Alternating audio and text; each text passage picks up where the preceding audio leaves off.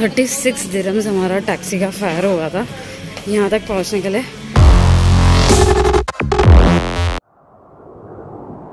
हम आए हैं अलमया सुपर मार्केट तो यहाँ पे आपको कुछ चीज़ें दिखाते हो। बहुत अलग अलग है। इंडिया में मिलती है बट थोड़ी सी डिफरेंट है बस।